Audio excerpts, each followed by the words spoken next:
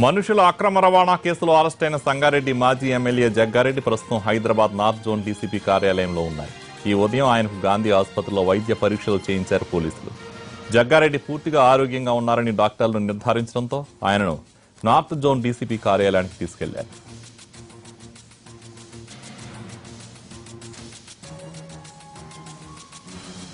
మరోవైపు రాజకీయ కక్షతోనే తనను అరెస్టు చేశారంటున్న జగ్గారెడ్డి ఆరోపణలను కొట్టిపారేశారు నార్త్ జోన్ డీసీపీ సుమతి. ఆయన నేరం చేశారనడానికి తమ దగ్గర పక్కా ఆధారాలున్నాయని ఆమె చెబుతున్నారు. సాక్ష్యాలు పక్కాగా ఉండటంతోనే ఆయన్ను అరెస్ట్ చేస్తామంటున్న సుమతితో మా ప్రతినిధి శర్మ ఫేస్ టు ఫేస్.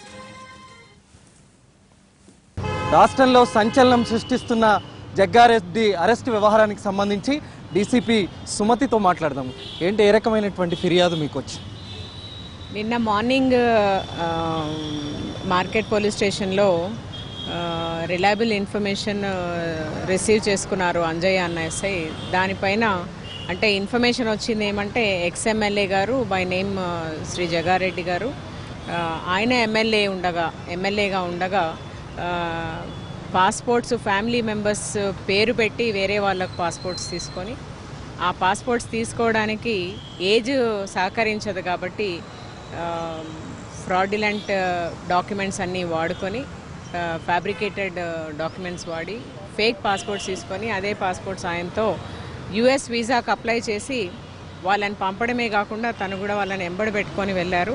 ఇదంతా డబ్బు కోసమే చేశారు అన్న దాని మీద కేసు రిజిస్టర్ అయ్యి విచారణ జరిగింది. ఇమీడియట్గా ప్రిలిమినరీ ఇన్ఫర్మేషన్ అంతా కూడా కలెక్ట్ చేసి మొత్తం ఆధారాలన్నీ మీకు లభించాయా? అవునండి. Preliminary investigation has been completed and further investigation will be continue రెండు వేల నాలుగులో జరిగిన దానికి సంబంధించి ఇప్పుడు ఎందుకు బయటికి వచ్చింది? ఇప్పుడు ఈ వ్యవహారం ఎందుకు బయటకు పోలీస్కి ఎప్పుడైనా ఎవరైనా ఏ రకంగా అయినా సమాచారం ఇచ్చొచ్చు. ఇచ్చిన తర్వాత కాగ్నిజబుల్ అఫెన్స్ అయితే మేము hundred percent we have to take action రెండు వేల నాలుగులో అప్పుడు కొంతమంది అరెస్ట్ అయ్యారు.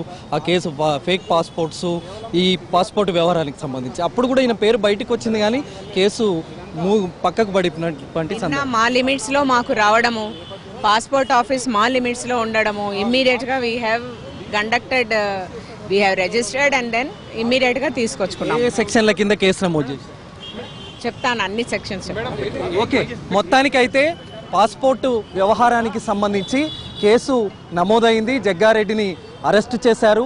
మరి దీనికి సంబంధించినటువంటి వివరాలు పూర్తిగా ఇప్పుడు ఆమె చెప్తున్నారు. నిన్న మార్కెట్ పోలీస్ స్టేషన్కు ఒక ఫిర్యాదు వచ్చింది. దాని ఆధారంగానే కేసు నమోదు చేసి దర్యాప్తు చేసి అన్న ఆధారాలు సేకరించిన తర్వాతే జగ్గారెడ్డిని అరెస్టు చేశామని చెప్తున్నటువంటి పరిస్థితి.